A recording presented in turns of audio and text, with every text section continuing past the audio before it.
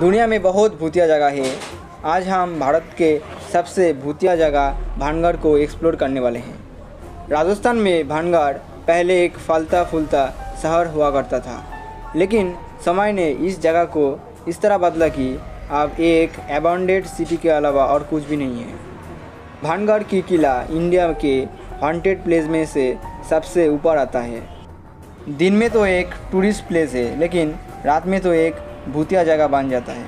यहाँ तक कि आर्कियोलॉजिकल सर्वे ऑफ़ इंडिया इस किला की कुछ दूर बाद एक बोर्ड रखा है। यहाँ पर लिखा है कि सनसेट के बाद और सनराइज के पहले यह बार आना खतरनाक हो सकता है। भारत का एक लौता जगह है, जिसको इंडिया गवर्नमेंट ने हॉन्टेड प्लेस घोषित किया। ये माना जाता है कि सनसेट के बाद जो भी इस किले में जाएगा, वो कभी वापस नहीं आएगा। यहाँ का स्थानीय लोगों का कहना है कि रात में यहाँ से अजीब गरीब आवाज़ें आती हैं। कभी बैल की आवाज़ें और नाचने गाने की आवाज़ें आती हैं। लोगों के हिसाब से यहाँ पर औरतों की चिल्लाने और रोने की आवाज़ें आती हैं। कुछ लोगों ने तो अपने आँखों से देखा कि कोई औरत परफ्यूम की बोतल लेके इस महल में घूम रहा है और इसी समय उस महल से अजीब सी खुशबू आती है। यह का कहानी यह है कि यहाँ पर एक रानी रहती थी, जिसका नाम है रानी रत्नावती। रानी रत्नावती उस समय सबसे सुंदर रानी में से एक थी। जब रानी की उम्र अठारह साल हुई, तब बहुत राजाओं ने रानी से शादी करने की इच्छा जताई। इसमें से एक कला जादूगर भी था, जो बहुत बुरा आदमी था।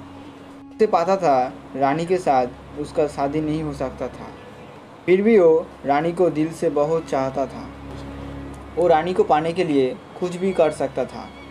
एक दिन जब रानी का दासी बाज़ार में परफ्यूम लेने गया, तब उस काला जादूगर ने उस परफ्यूम में एक काला जादू कर दिया। लेकिन रानी को इस बारे में पता चल गया और उस परफ्यूम को एक पत्थर के ऊपर फेंक दिया, जिससे जादू का उल्टा असर पड़ गया। और वो पत्थर और पहाड़ से गिरते हुए उस जादूगर के ऊपर पड़ा। और जादूगर मरते हुए श्राप दे गया कि ये भानगढ़ एक दिन इन तबाह हो जाएगा। और इससे एक साल बाद मुगल ने यह पर हमला कर दिया और इस जगह को बर्बाद कर दिया और रानी को भी मार दिया। और इस वीडियो वीडियो से यही पता चलता है कि रानी बहुत अहंकारी थी, अपनी सुंदरता को लेकर, इसलिए यही परिणाम हुआ।